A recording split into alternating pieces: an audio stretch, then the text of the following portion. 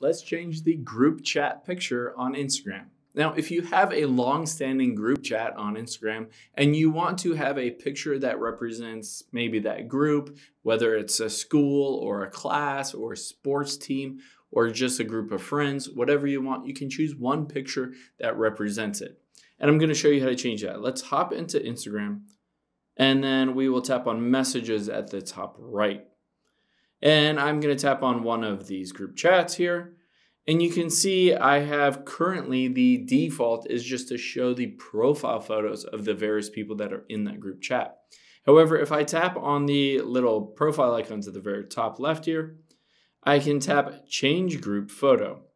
And by doing so, I can take a photo, maybe a selfie of the whole group or something, or I can tap choose from library.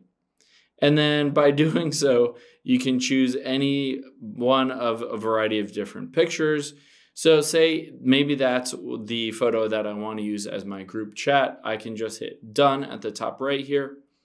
And you can see this will change it for everybody, not only me, especially because I'm the admin, so I can basically force everybody to see this as the group chat. And of course, if I ever wanted to change it again, I just tap it again and I can remove the current picture. It will, let me tap on that. It'll go back to just the default profile pictures of the various people, or you can just take a new picture or upload a new one if you wanted to at any point. Hope this helps. Thanks for your time today, and I'll see you on the next one.